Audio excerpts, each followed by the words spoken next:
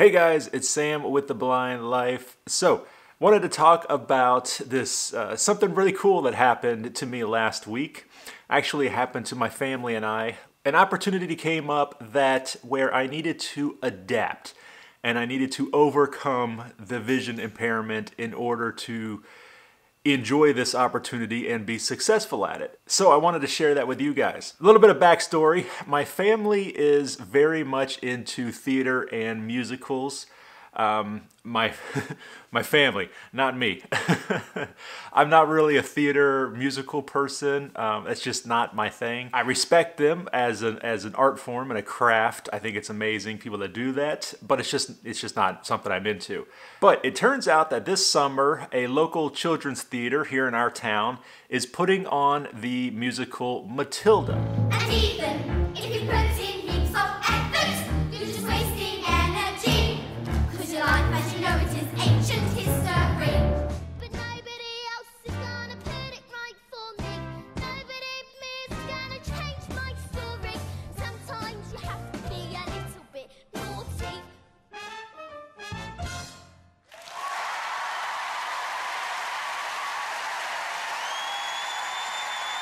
It's actually a really exciting and fun musical. So when it got announced that the local children's theater was going to be putting it on, uh, my daughter wanted to uh, audition. So my wife was looking into the auditioning process and she saw that they were saying that if families auditioned, you had a better chance of getting a part because they're really promoting family unity and doing things together as a family. I said, okay, yes, let's do it. That sounds like it'll be a lot of fun. And then I started to realize wait a minute, how does a blind person audition? They give you the script, they let you uh, practice, uh, uh, you know, once or twice, and then they bring you in and you do the audition. But you're you're doing it holding the script. You're you're looking at the script as you give your audition, and I can't do that, of course. Now, I will say that these people were amazing. They were so friendly and accommodating. Uh, my wife sent them an email letting them know that I was visually impaired, and they went ahead and sent me the script and the song before the audition, like three or four days before the audition. So that was pretty awesome. They also sent it to me in large print, which I thought was great. You know, I, I can't read large print anymore, but I really appreciate that gesture that they tried to do that for me. So I did have some time to practice beforehand.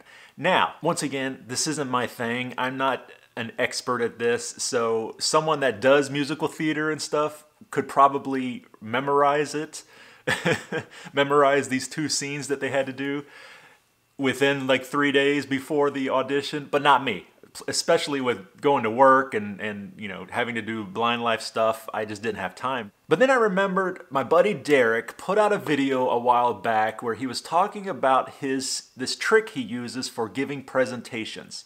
And the trick was to put the presentation onto an iPad. So what he does is he puts the talking points of the presentation onto the Evernote app.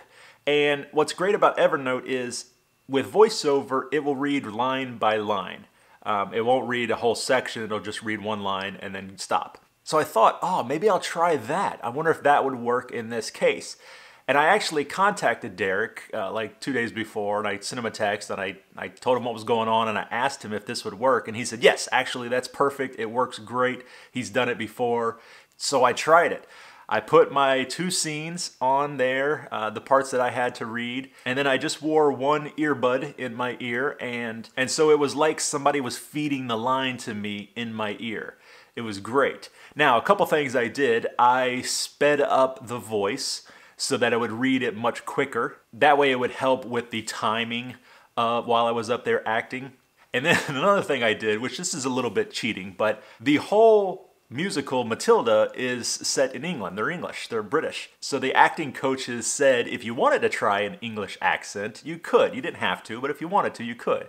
And of course, me being me, I'm like, yes, we're doing an English accent, absolutely. So what I did is I put one of the English voices on voiceover. I think his name is Daniel. I put Daniel on. So it would read it to me in that English accent, and then I could just mimic that and it actually worked out really well. I, I, think I did really well. Now, unfortunately, when I was doing the song part of the audition, singing the song, this doesn't really help in that situation. Um, for that one, I just practiced the song as much as I could beforehand, and there, I no way had all the words down packed. These people were very accommodating. They were so super nice. They knew about my vision impairment. They knew about the limitations. I wasn't going to be able to do it the same way that everyone else was. And they took that into consideration. So, in fact, when I got up to do my song, you know, you practice it in a group a bunch, and then you learn the song and you practice it, and then you have to get up and sing it yourself. Um, and in this case, there were we got up in sets of three or two or three and sang the song so that they could hear your voice. And, and once again, I didn't know all the words. And so it was a lot of extremely careful, la la la la, you know. And, but they, and they knew that, and that was okay. They are just concerned with, you know, I'm I'm assuming anyways, like I said, I'm not an expert, but I think they're just concerned with they want to hear your voice, you know, your vocal range and all that. They want to they want to see how you project.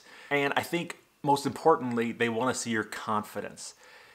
Nobody knows the song before they get there. And so nobody is expected to be able to nail that song 100% or nail that scene 100%.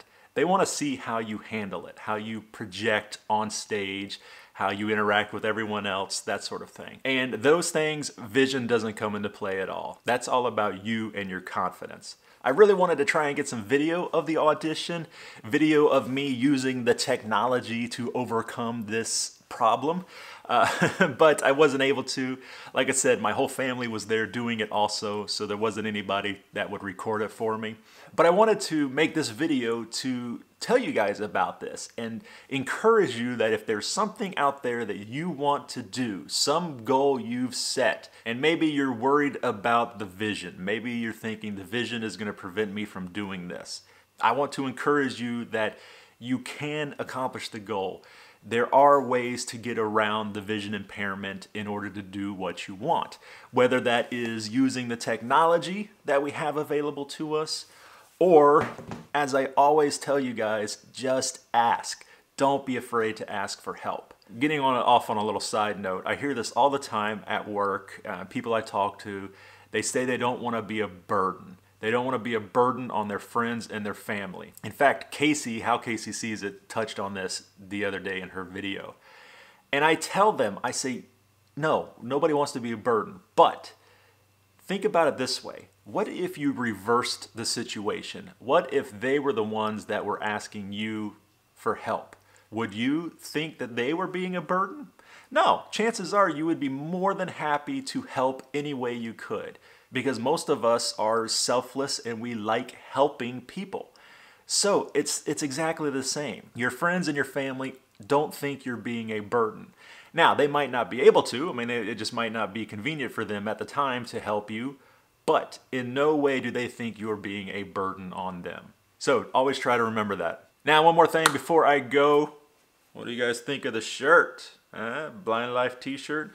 I'll make a video coming up very soon talking about about talking about blind life t-shirts and how to get them people have asked me about that and i'm finally getting that going so stay tuned for that.